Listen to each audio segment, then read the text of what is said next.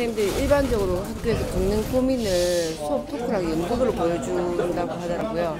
그래서 그런 고민을 좀 해결할 수 있지 않을까 하는 마음으로 왔고 작년에도 이런 기회가 있어서 참여를 했었거든요.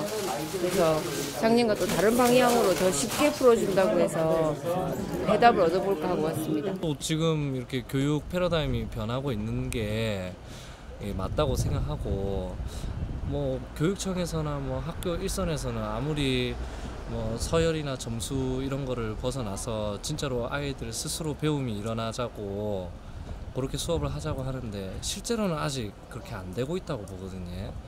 뭐 교사들도 마음속으로는 그게 맞다고 하지만 우리가 새로운 교육 방법에 대한 접근이 우리가 두려움이 앞서서 실제로 잘 안 된다고 생각하기 때문에 이렇게 이런 기회를 통해서 이런 게 어렵지 않다라는 걸 우리 교사들이 느끼면은 이제 일선 수업에서도 아이들에게 적용을 많이 할 수 있을 거라고 교사의 생명은 무엇이든지 해도 수업에 있지 않겠습니까? 예. 교사가 수업을 할 때 가장 편안해야 한다 이렇게 생각하고 또 교사가 수업을 가장 잘 할 수 있어야 한다 아, 이렇게 생각합니다.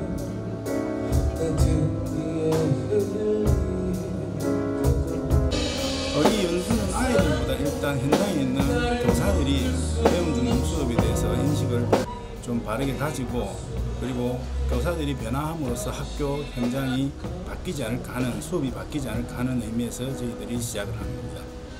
그리고 아마 연수 형태도 지금까지 전달식의 연수에서 이렇게 모두가 공감하고 즐기고 그리고 보고 배우면서 생각하는 그런 아마 획기적인 연수가 되지 않을까 생각하고 있습니다.